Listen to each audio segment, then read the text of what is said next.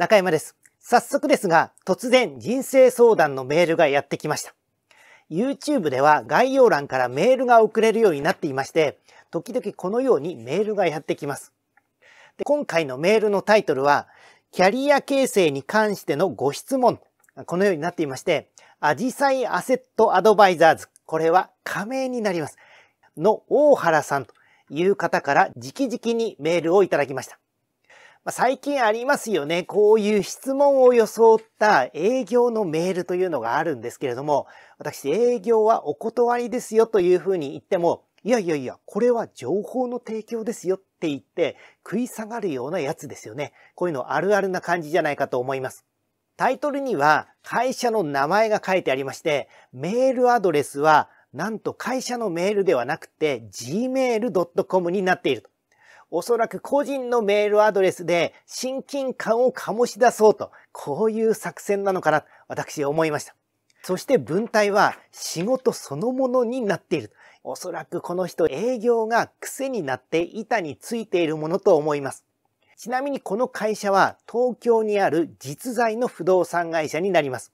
投資用の一棟マンションの仲介をすると。こういう会社なんですよね。ますます怪しい。それでは中身を読んでいきましょう。まず名前が書いてありまして、えお世話になっております。アジサイアセットアドバイザーズ大原です。え突然の連絡申し訳ございません。表題の件でご連絡をさせていただきました。当方現在32歳男性なのですが、昨年6年9ヶ月勤めたなんとかなんとかという会社、これは皆さんご存知の不動産情報を取り扱う雑誌の会社になります。よく100円でコンビニとかに行って不動産情報が買える雑誌がありますよね。あれになります。で、そこを退職し、一等収益不動産仲介会社のアジサイアセットアドバイザーズに転職をしました。一等の客付けメイン。客付けというのはお客さんを探してくることになります。一棟の客付けメインの仲介会社で学んでおりますが、3年以内に独立しますと事前に社長に伝え、業務委託契約で勤務をしています。まあ、32歳で正社員ではないということなんですね。まあ、私ならですね、このような文面から、まあ、その人の境遇を考えると、まあ、将来独立したいという気持ちはあったとしても、私ならそこは隠して正社員で入社したかなというふうに思います。まあ、その後のプランをその会社に勤めながら、より具体的に温めていく。まあそうはせずに、この方非常に正直な方なのかもしれないですし、まあ、全くの詐欺メールかもしれないということなんですけども、まあそうはせずに最初から独立前提で業務委託で働いている。まあ会社から見ればですね、これ独立前提の人物ということになると逆に警戒されるんじゃないかなというふうに思うんですけども、どうなんでしょうかね。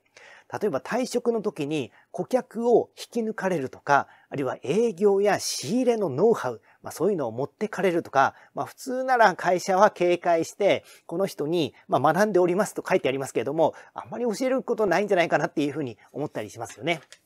で、それでまだ続きがありますので、えー、ここですよね、本題は。で、宅建士だけでは今後難しくなると考えており、考えてよりって書いてありますが、考えており、現在所持している FP2 級、フィナンシャルプランナーでしたっけ ?FP2 級をブラッシュアップして1級取得。それから専門学校に通い、建築士取得。これ多分2級建築士からの取得になると思います。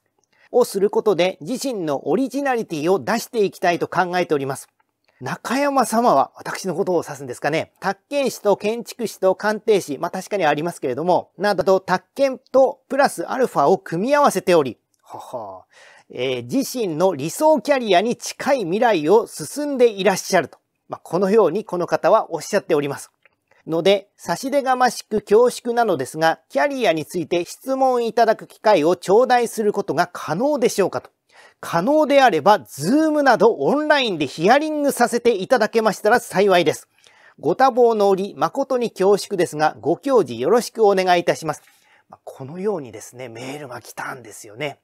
で、実は最近、こちらの Yahoo 知恵袋のように、実はこういう形を装った詐欺というのが投資の世界で結構あります。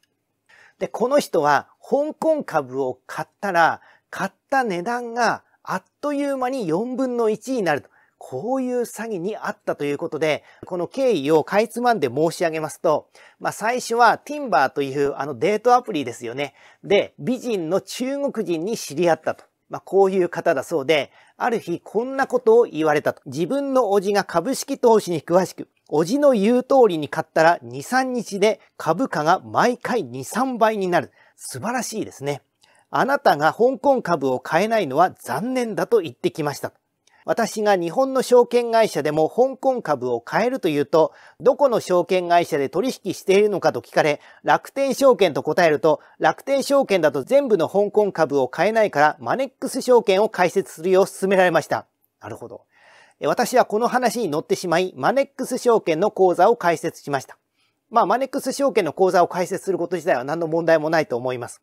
で、どうやって儲けるのかと聞くと、おじが香港のコンソーシアム、カッコハテナに所属して内部情報が得られるのだと。その株を同時に大勢で買って株価を釣り上げるんだとのことでした。ほう。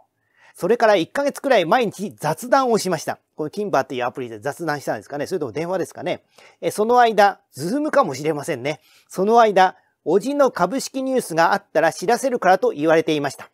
被害に遭う数日前に日時を知らされ、当日は銘柄と株数を指定され、購入した画面をスクリーンショットで送れと言われました。私がスクリーンショットを送った直後から株価が爆下がりし、1日で購入額の2分の1になりましたと。こういう内容があるんですね。で、この方非常にモテる方のようで、さらに女 B と女 C という人がいましてですね、えー、女 B と女 C はどうも友達らしくって、えー、この女 A から勧められて買わされた株式について、女 B と女 C の人に言ったらしいんですよね。そうすると、購入から2日経って詐欺にあったと確信し、女 B と女 C に詐欺にあったことを伝えたところ、女 B は銀行でお金を借りて私の言う通りに買えば1ヶ月で取り返せると言われました。女 C からは返信がありませんでした。まあ、こんな感じが書いてあります。で、え、相談としては、この株をどう処分したらいいのか助言をお願いします。まあ、このように書いてありましてですね。まあ、そういうようなものが今流行っていると。つまり、SNS なりデートアプリで知り合いになった人から株式を勧められて、買ったらだだ下がりすると。まあ、こういうような話が結構この投資の世界ではあるらしいんですね。翻ってこの私宛てのメールを見ますと、最初はキャリアの相談をしたいというふうに言いながら、もう最後にはヒアリングもしたいと。これは一体どういうことなのかと。これはおそらく新手の営業手法であると私は睨みました。しかし本当にキャリアの相談かもしれないというのは、まあ100分の1か2くらいあるかもしれないと。まあ、勝手にこれは詐欺メールというふうに決めつけて、一人の人間の人生を棒に振ってしまうと。あるいは握りつぶしてしまうと。まあ、そういうことは私の本意でもないということになります。そこでこのメールに対しては一計を案じまして、私丁寧に返答することにしました。読み上げますと、この度はお問い合わせいただきありがとうございます。ご質問については個人名や勤務先を伏せて YouTube の住まいと投資チャンネルで取り上げて回答します。気長にお待ちください。今後とも当チャンネルをご愛顧いただきますようお願い申し上げます。まあ、このようにですね、私は返答しました。せっかくなので、この大原さんの質問に対して私が思うことを YouTube で回答いたしましょう。まず一つ目、私が不動産業界という世界の中で見てきた範囲では、実際の不動産会社の営業っていうのは、資格を持っている人より資格を持っていない人の方が営業成績は断然上になります。まあこれは全員が全員そうだとは言いませんけども、平均値を取ると、やはり資格を持っていない営業の人の方が、より大きな案件をよりたくさん持ってくる。これは視聴者様も結構納得していただけるんじゃないかなと思います。なんでっていう話になるんですけども、これは資格が邪魔をするんですよね。で、資格を取るために一生懸命勉強するんですよ。その知識に縛られてしまうんですよね。本来はもっと自由に営業してもいいはずなのに、まあ、やれ民法が何だとか、宅建業法は何だとか、正義は何だという話をした途端、それに縛られてしまう。この方はですね、そもそも独立をして、資格で勝負をしようと、こういう発想が間違ってるというふうに私は思います。二つ目には、不動産営業に必要なのは、人脈と営業力になります。これはどの業界でもそうだと思います。これを質問者様が今在籍しているその会社でノウハウとか自分に独立した後もついてきてくれるはずのお客さん、これをいかに集めてくるかと、もちろん合法的に、まあ、そういうことが必要になると思います。まあ、それを退職前提の会社で身につけようということがですね、私ちょっと大きな間違いじゃなかったかなというふうに思います。三つ目は、これ私のことを理想のキャリアというふうにおっしゃっているんですけども、これはですね、まんまと私の策略に引っかかっているということになります。